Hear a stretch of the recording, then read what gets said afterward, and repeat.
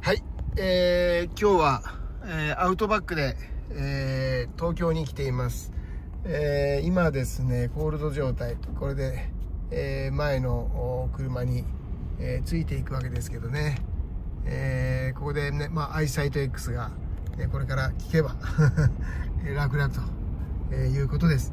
えー今日は東京で、えー会議がありました。丸の内でやる会議はこれがあ最後になるということでですね、えーね、意を、意をね、新たにね、えーもう締めということで行ってまいりましたけれども、まあ朝4時に起きましてね、えー、陸と元気よく運動させて、えーね、なかなか、あえーね、刺激のある会議に出てまいりましたね。えーやっぱり若い人たちとね、えーこういろんなこの意見ということはあんまりないんですけど質問やり取りしたりまあ隣のね若い社員の人たちとこう出会っていろいろ話ができるっていうことは非常にね、えーえーとてもまあなんていうんですか刺激になるということで、えーこれから会社に帰ってまたし一仕事するわけですけどまああー一人しか今日はいませんのでね、えーちょっとねお付き合いいただきたいと 思います これもねアイサイトのおかげですよねこういうことができるのはねはい、行きますね。はい、はい、わかりましたよ。えー、なんで今日こんな混んでんですかね。普段はここそんなに混まないんですけどね。えー、ここにアイサイトのね、えー機能しているっていうランプがこうついてるわけですけども、ね、上手にこう、ね何も機会がないのでね、今日は。えーここでこう、モニター見ながら行きたいと思います。まあ、一昨日はですね、えキャリアカーで、まあ、こういうような、あの、えー撮影をして、えー結構皆さんにね、えーコメントもいただきましてありがとうございましたやっぱりいついつもと違うねこう雰囲気を、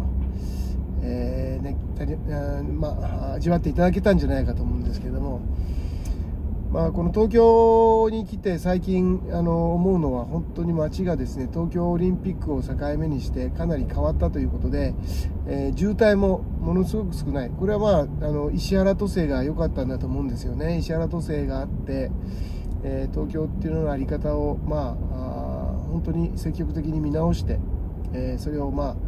え東京オリンピックっていう、まあ、こういうものの誘致をねフッキングにして変えたと、えー僕が学生の頃にいた雰囲気とはかなり変わってきていますがやっぱり東京は東京と日本の中心であることには変わりはないですね。で、えーまあ来月はちょっと1ヶ月まあお休みになりましてね、えーこの会議がですねまたあ5月から始まるわけですけどもおっとねえ5月から始まるわけですけどもねえーね。えーまあ次は八重洲へ移動するということでで八重洲へあの移動すると、えーこの高速道路と直結になりますのでね、えー今はちょっと高速道路からわずかですけど出なきゃいけないんですがいよいよね中津原とね、えーその ね東京のその会議場がですね、えドア2ドアでえ高速道路でドア2ドアで直結するというですねある意味快挙 になるわけです、ねえー八重洲ミッドタウンに、えー場所を移すということでそこは僕には未経験の場所ですのでね、えーこれまでのあの丸の内も丸善という本屋さんがあって、え非常にね、えー刺激的だったんですけどね。ちょっとね、えー後ろから緊急自動車が来ましたんでね。こう前あ事故なんですね。ね事故なんですね。だから、ね、こんな風になってるんですね、えー警視庁のおまわりさんが今ね走ってきました、えー何があったのか分かりませんけども、まあ、ここからちょっとアイサイト外してね、えーやっぱりねあの追尾するのもいいんですけども追尾するとねあの加速度でこううんとカメラがねやっぱ今倒れましたね。ね。えー八重洲のミッドタウンというね、えー、新新しく開発しましたよね。あの僕の記憶の違いだったらあ申し訳ないですけど東京駅のね、えー、まあ再開発ということで東京駅をきれいにね元の状態にリニューアルしましたよね。であそこには高層ビルを建てない代わりにその分の高層ビルの権利というかそういう空地を、えー、占める部分を八重洲に持っていったっていうことを聞いたことありますけれどもまあ八重洲がそういうことになって、えー、大きなね、えー、ビルがいっぱい建って全然違う顔を見せてるわけで、えー、あちら側のあの、え、世界にね、え、月に1回、えー、まあ身をね、えー、浸るのもね、えー、浸すのもね、えー、浸すのも悪くないなというふうに思ってます。まあとにかくあのいろいろ吸収しないとね人間というのはいつまでもそのスポンジのようにあの吸収するっていうことが必要だなって僕はいつも思うわけで、えー、ね、それを、ねえー、続けできる限り続けたいなと、まあ、それがその一つの手法がこういう会議に、まあえー、高速道路を使ってね、え自分の力で移動して乗っけてもらうんじゃなくてね自分の力で移動しながら何かをこう得ると、えー、いうことですよね。まあ東京のこの丸の内や八重洲とは直結しないんですけども品川とは、えー、もう数年すると、えー、中津川とこう直結するわけですけどもまあ自動車のねビジネスに関わるものとして、え、まああの入れてあげてもよかったので。自動車のビジネスに関わるものとして、えー、まあ車はね、え、できる限り使いたいなと、ねえー、思ってます、えー、そんなわけでですねこの今、えいつもなら全然渋滞しない場所なんですけども、え走りながらちょっとこの、えアウトバックっていう車のレポートをね、えここで、えしてみたいと思うんですけどもやっぱりあのまあ、基本的に昨日からあの乗ってるわけですけどもあエンジンはそのレボーグに搭載されてるエンジン、えー、フォレスターに搭載されてるエンジンと同じなんですけども、まあ、随分やっぱりちょっと雰囲気が異なりましてね、あのずこちらのおおらかな印象がありますね。でもう運転席に座った瞬間にあのやっぱりこの車があ世界市場においてはですねこの車がフラッグシップだなって思うのはもう間違いのない話でですね。座った瞬間にこの左の方のこのドアドアドアの距離感ですよね。から頭上空間、えー、そういったものがですね、えー、もう全くあの異なってましてね。すごく余裕があります、まあ、今ちょっとこうオートパイロットですのでね、えー、この感じ、ねえー、こういう感じがねもう全然ね、えー、違いますよねただこれが大きすぎるという人もねやはり多いので、えー、多いのでね、えー、ここはまあ使い分けねいかに使い分けるかとね、えー、ああああね使い分けるかということをね、え、心がけていきたい 心がけていきたいというか訴えていきたいと思います、手放ししてるとね警告灯がねつくんですね。ね相変わらず。まあこれはあのやっぱり何て言うんですかあのアイサイト X のね、え機能してる時じゃないとまずいですのでね今ちょっと合流するのでブレーキ踏んで前のフォレスターを入れてあげようと思いますけどもね。えー、ねこのこの後今これ C1 走ってますけども、えー、この後4号線ですね。4号線高速4号線に入って4号線から、え、中央道とそういうルートで帰っていきたいと思います。本当におおらかでねで燃費がねあのやっぱりあの心がけて走るというと変ですけどもう本当80キロ前後であの i モードでクルーズすると本当伸びますよね。でやっぱりそれじゃ我慢できなくなってくるので踏むわけですよ。S シャープにしてね。ね。S シャープにしてやっぱり踏むとですねこれはもうどうしても食うことはしょうがないですね。ね食うことはしょうがない。ので、えー、ここから4号線ですね、えー、もうちょっと先で4号線入るんですけど。まあ、この辺りはあの外側はですね、えー、高速道路の外は、まあ、東京ではやぶさ町ってねいわゆる信号のあるところで昔はペンタックスのね、え、ビルが朝日工学のビルがあったんですけど、ね、ペンタックスも、まあ、会社の名前は残ってますけども光学機メーカーなかなか昔の勢いがなくて今あのペンタックスのビルは何が、ね、あるのか分かりませんが、え、その左へちょっと入っていくと永田町とかありましてね霞ヶ浦があって永田町があって、まあ、国会議事堂があったりっていう東京のこの本当に、えー、コアの部分がこのこの辺りにあるわけですけども、えー、今もうちょっとで、えー、4号線に合流していきます前の何だろうあれ給水車かな、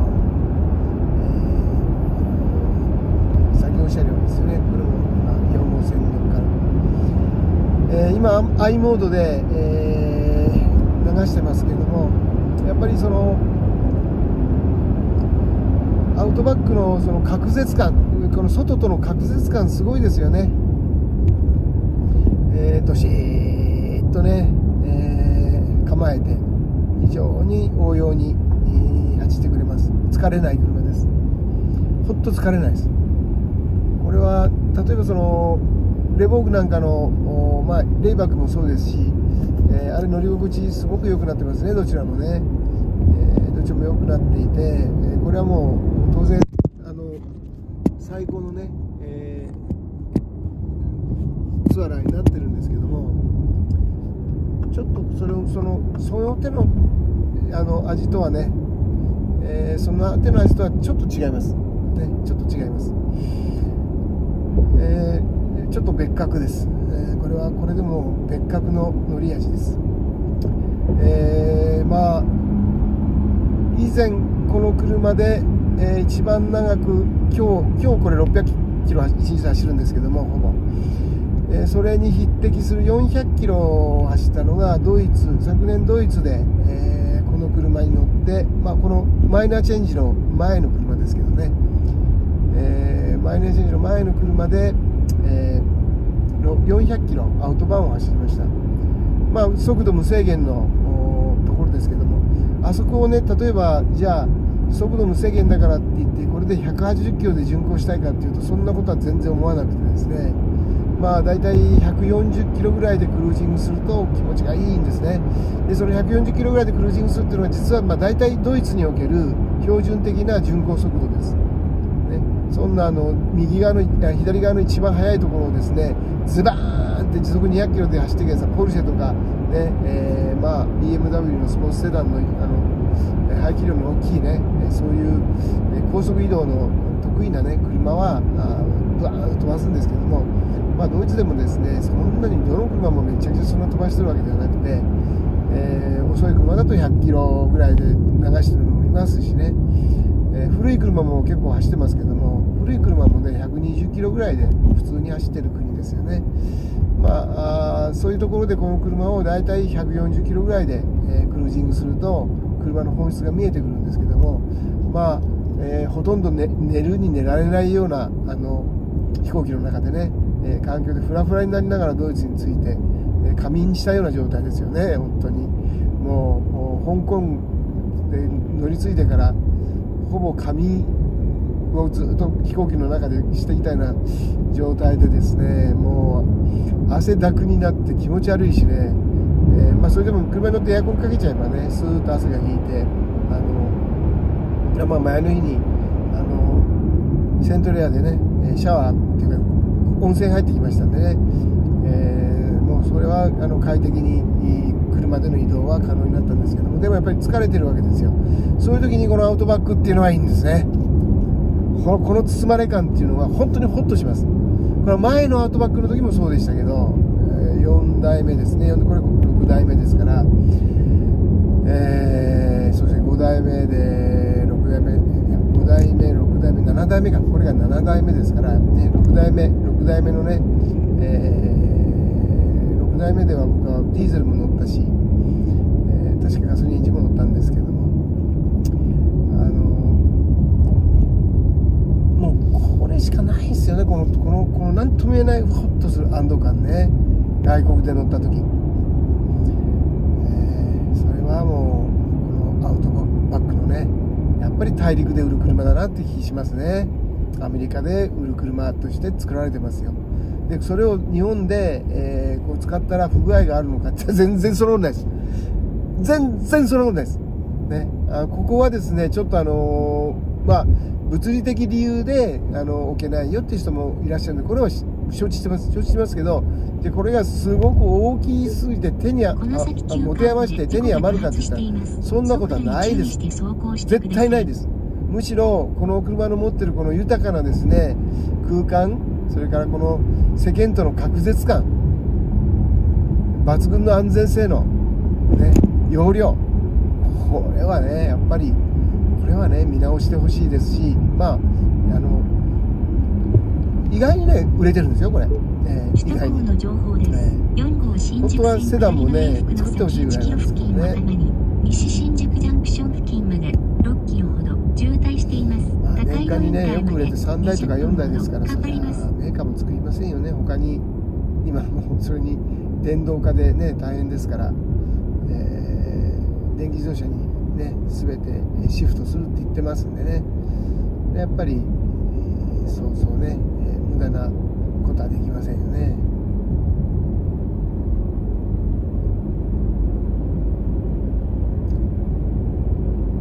まあ、今あの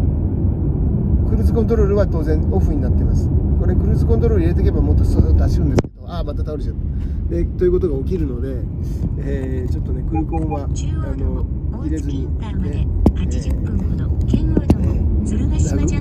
涙ぐましい努力をしながらね今新宿まで来ましたけどもね、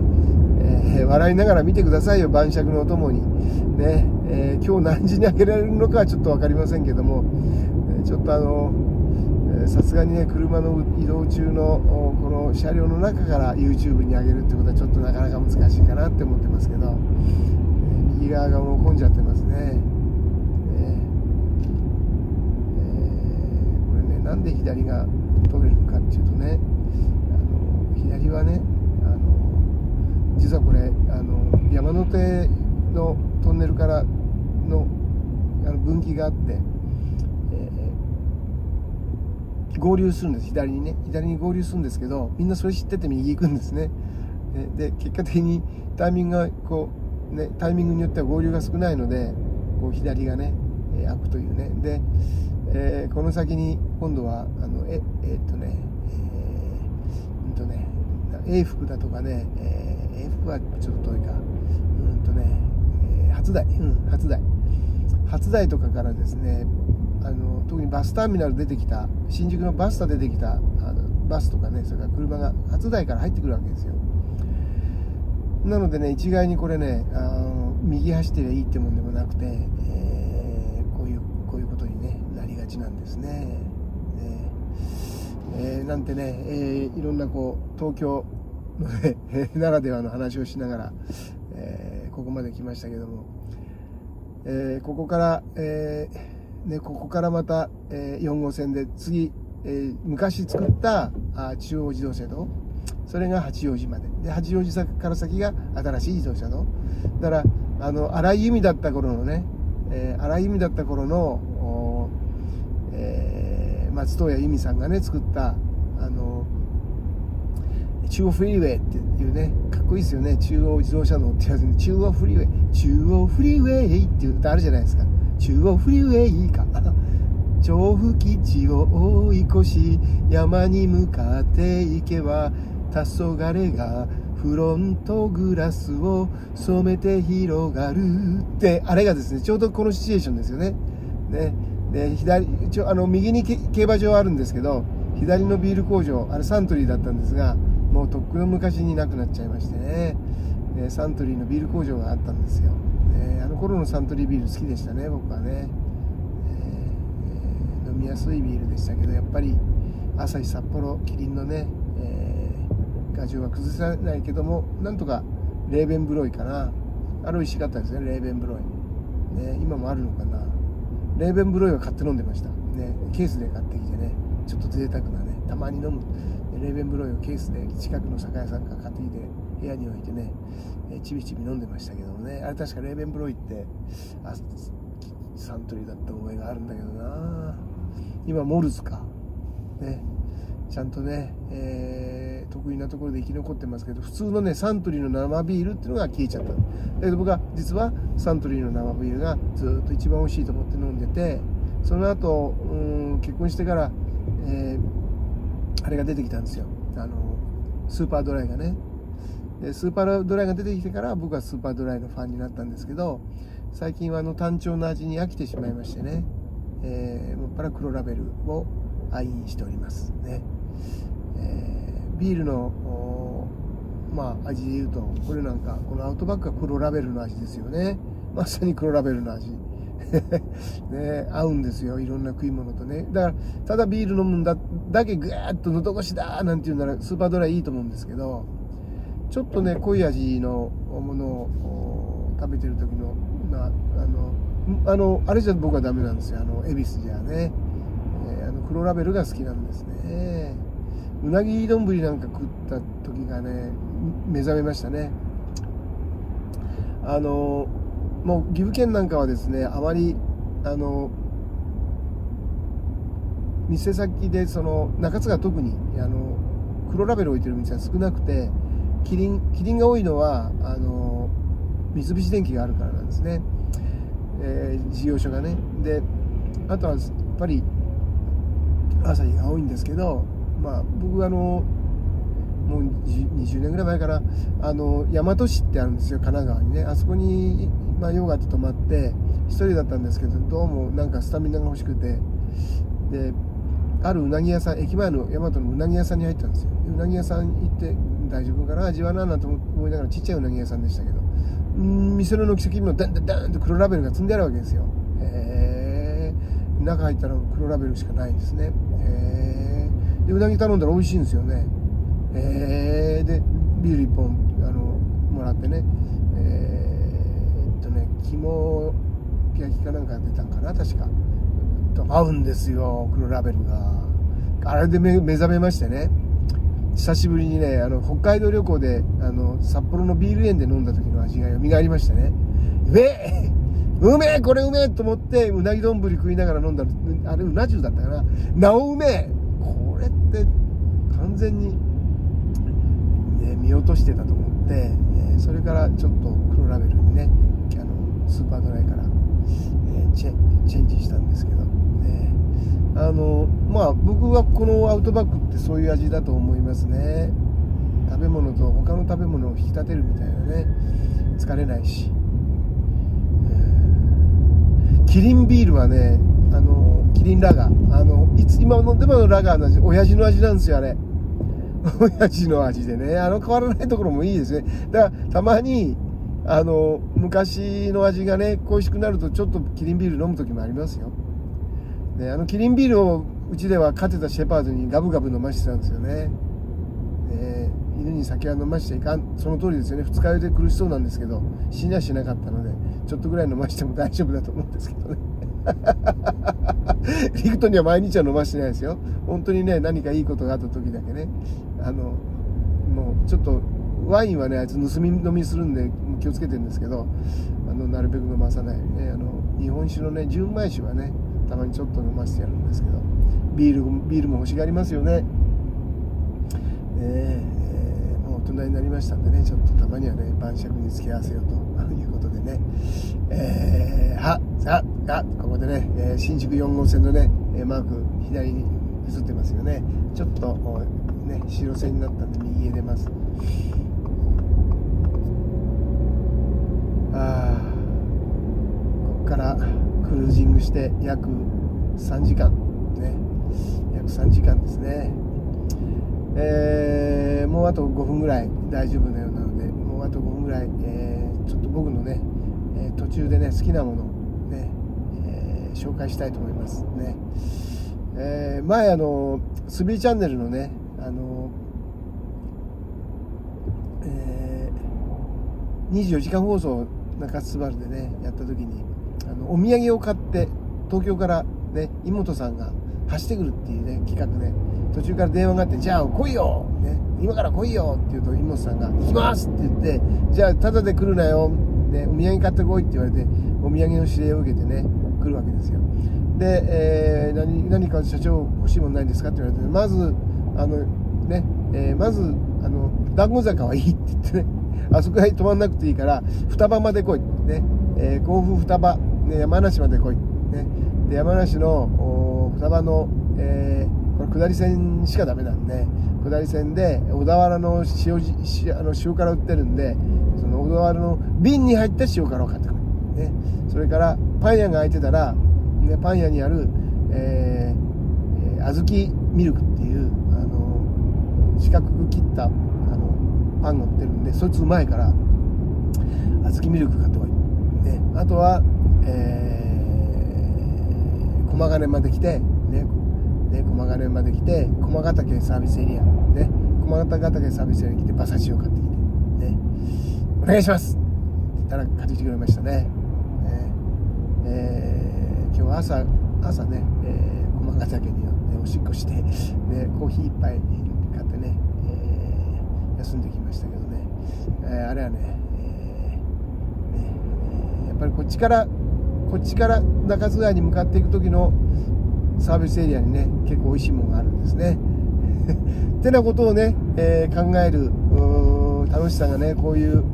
アウトバックのようなね、えー、車に乗るとねありますね。で今、えー、もうここからはね今ね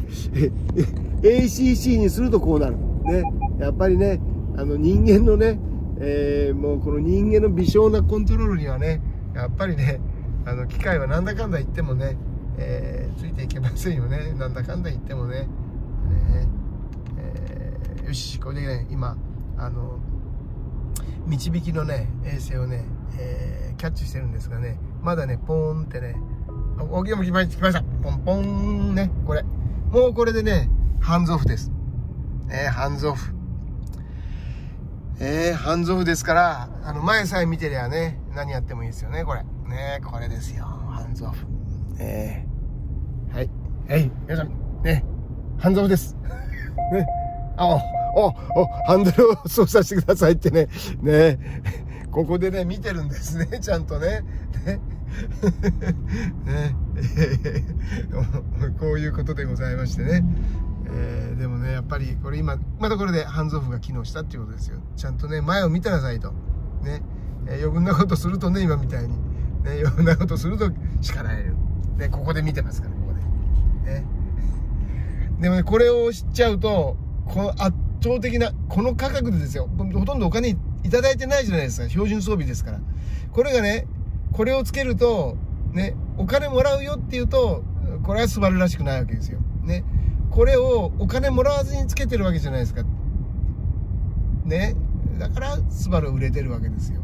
ね。なんかね、対向車線でありましたね、事故がね。追突ですかね。追突ですかね。えこういうね、時にね、えー、この、この、この機能があればね、ぶつかりませんから。ね、ぶつかりませんから。だから、あの、あくまでも人間がコントロールしてるんです。あくまでも人間です。乗ってるのはね。で、とっさの時に機械が優先しません。人間の行為が優先するわけですよ。えー、人間の行為が優先する。でそれがやっぱり一番大事なねスバルが要するに飛行機の世界からこう地上に降りてきて一本持ってるね、えー、すごいところだと思いますねまあ飛んでる飛行機がね、えー、人間の言うことを聞かなくなっちゃったら大変で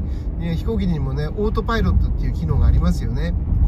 であのオートパイロットっていう機能があの意地悪してねもうちょっとであの墜落するところだったっていうのがまああのスウェーデン製のねサーブっていう飛行機でねあったらしいですけどねああいうまあヒューマンエラーを誘発させるようなオートパイロットっていうのはダメですけどもまあこのスバルが作ったアイサイト世界の車を変えちゃいましたよね、えー、これはねやっぱりスバルの人間としてはもう当然胸を張って当たり前のね、えー、ことだと思います。はいということで、えー、ね間もなく30分になりますのでちょっと今日はねカメラが倒れたりして、えー、お聞き苦しいところあるかもしれませんけどこれ実にリアルなね実にリアルなあの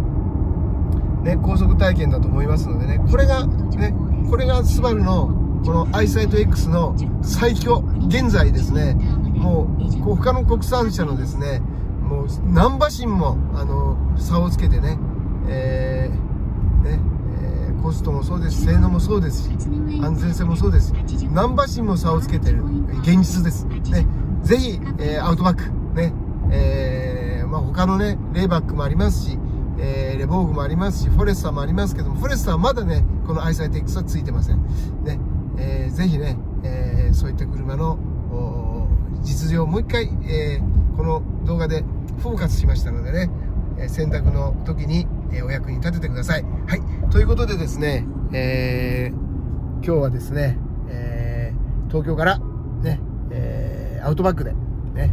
えー、次の、えー、河原湾のね、制作に向けて、ね、えー、実際に使いながらレポートさせていただきました。ね、ありがとうございました。では今日の動画、えー、これで終わろうと思います。